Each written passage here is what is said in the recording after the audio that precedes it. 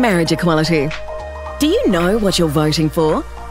So, what is the definition of marriage and where does it come from?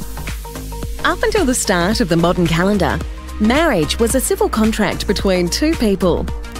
Christians took this contract and created a religious sacrament of matrimony.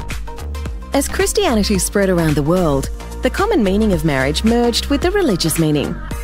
By 1898, Australia took an evolutionary step led by Victorian delegate Mr. H.B. Higgins. He amended Section 116 of the Constitution of Australia, and we became a secular country.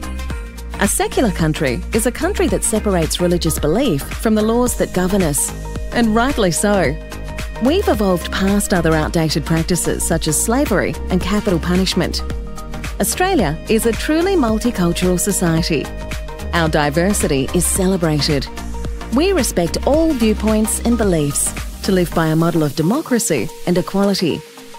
It is our diversity that makes us strong and is one of the reasons why we are home to some of the most livable cities in the world. Oh, and Melbourne's number one again. Over time, the way we see marriage has evolved globally from the original Christian sacrament of matrimony between a man and a woman to become the loving and legal commitment between two people.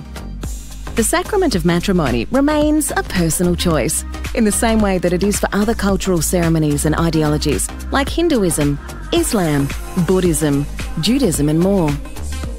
So, evolution is a natural process. Let's keep evolving. So, what is the proposed change?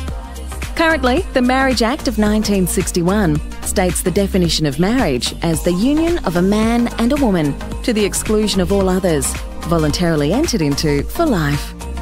We're talking about changing five words a man and a woman to two words two people. That's it. Those two words create equality. What we know is that marriage equality doesn't take anything away from anyone, nor does it affect anyone else's marriage. Shouldn't every person have the right to marry the person they love?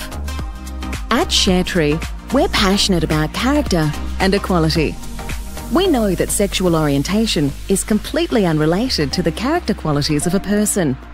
To raise children of good character requires a loving family unit, regardless of gender. ShareTree is voting yes.